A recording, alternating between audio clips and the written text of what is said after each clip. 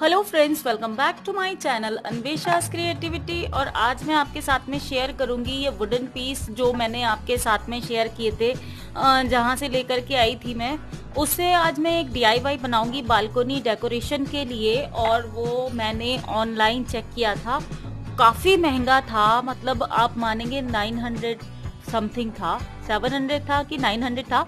ये मुझे याद नहीं, मैं वीडियो की लास्ट में उसकी पिक्चर भी शेयर करूँगी जो डीआईवाई मैंने। ऑनलाइन चेक किया था। तो वो मैं आज खुद कर रही हूँ और बालकनी में लगा सकते हैं, आप अपने घर में लगा सकते हैं, कहीं पर भी लगा सकते हैं, बहुत ही खूबसूरत लगेगा और बनाना भी उतना ही सुपर इजी है। तो क्या बना रही हूँ? चलिए शुरू करते हैं। तो मैंने लिया है इस टाइप का वुडन पीस ये देखिए, इतना चौड़ा है और आप अपने हिसाब से ले सकते हैं। आपको जितना लंबा, छोटा जैसा भी रखना है। और एक वुडन पीस ये लिया है मैंने। तो ये छोटा वाला वुडन पीस जो है, इसकी थिकनेस भी आपने देख ली है, इतना है। और ये फोर बाई सिक्स का है। फोर ये देखिए, ऐसे है और सिक्स इसकी लेंथ है। तो फोर बाई सिक्स का मैंने ये पीस लिया है। इस टाइप के मैंने दो पीस लिए हैं सेम टू सेम और ये वाला जो है, ये मैं आपको दिखा देती हूँ।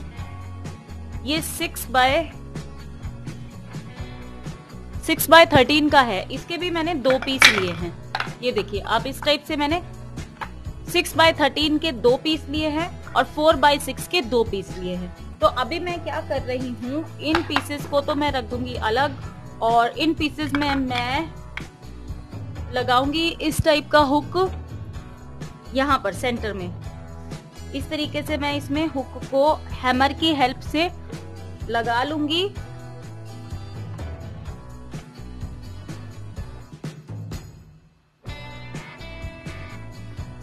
सो ये देखिए, मैंने यहाँ पर दोनों में हुक लगा दिया है इस टाइप से और उसके बाद में आप चाहे तो हाथ से इस तरीके से इसको टाइट कर सकते हैं।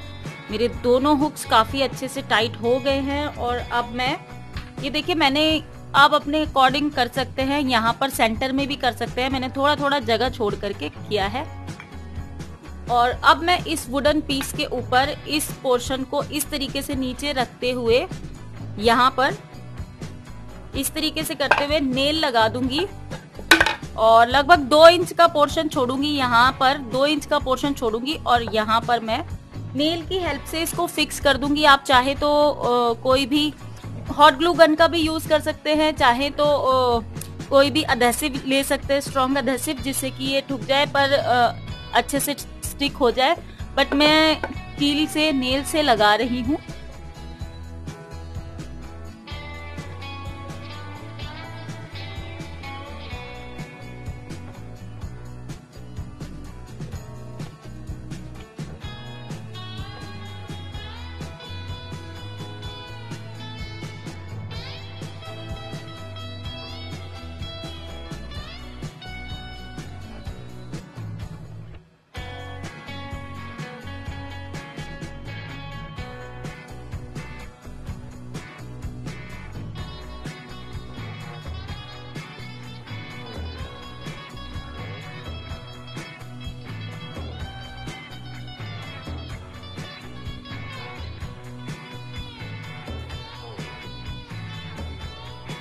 दोनों में यहाँ पर इस तरीके से नील लगा दिए हैं।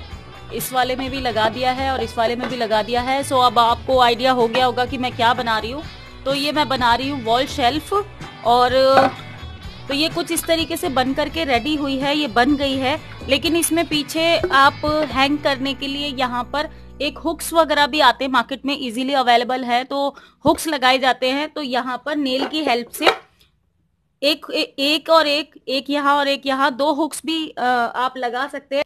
सो so, एक तरीका तो ये है कि अगर यहाँ पर नेल लगा दूँ और यहाँ पर नेल लगा दूँ और दोनों के बीच में मैं यहाँ पर कोई भी गोल्डन थ्रेड वगैरह लगा दूँ तो ये हैंग होने का अरेंजमेंट इसका हो जाएगा। लेकिन मैंने ढूंढा मुझे इस टाइप के दो हुक मिले हैं जो कि मेरे काम के तो नहीं है लेकिन मैं इसको काम का बना लूँगी। मैं क्या करती हूँ इनको फ्लैट कर लेती हूँ। तो मैंने इनको फ्लैट कर लिया है और अब मैं इसको लगा दूँगी यहाँ पर नेल की हेल्प से। तो एक पोर्शन में यहाँ पर नेल से लगा दूँगी और दूसरा पोर्शन ये हैंग करने के लिए हो जाएगा। सो so, दोनों में मैंने ये पीछे इस तरीके से हुक्स लगा दिए हैं और आप देख सकते हैं ये पूरी अच्छे से स्टडी हो गए हैं। और अब मैं इसमें करूँगी पेंट और पेंट करने के लिए मैं आपको बताऊँ, आप एशियन पेंट्स का एक्रेलिक कलर भी ले सकते हैं। अपने मनपसंद कलर यूज़ कर सकते हैं red brown black yellow green वगैरह, जो भी आपको पसंद है। बट मैं इसको थोड़ा वुडन टच देना चाह रही हूँ।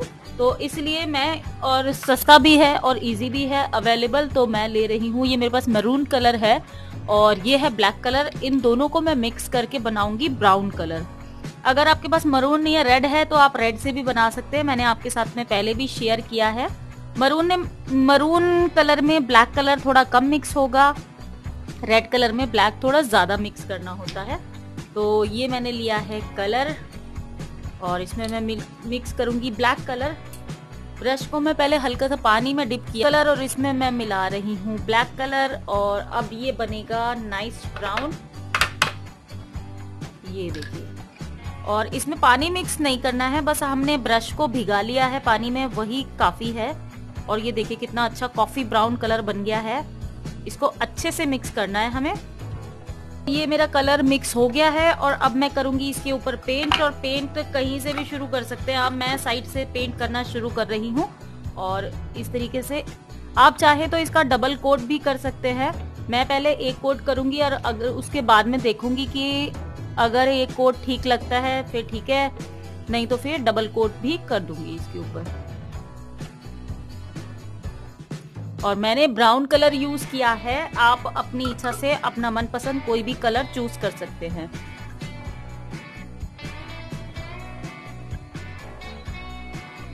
कंप्लीट होने के बाद में ये कुछ इस तरीके से दिख रहा है मैं आपको दिखा देती हूँ। ये इस तरीके से लग रहा है और अभी मैं इसको सेट करके वॉल पर हैंग करके फिर आपको दिखाती हूँ ये किस तरीके से लगेगा। सो so, कंप्लीट होने के बाद में ये कुछ इस तरीके से लग रहे हैं शेल्फ और मैंने इसमें टी लाइट होल्डर लगाया है और ये मनी प्लांट के मैंने छोटे छोटे पॉट्स रखे हुए हैं और ये कुछ इस तरीके से दिख रहा है। रात में इसके अंदर कैंडल भी हम जला सकते हैं।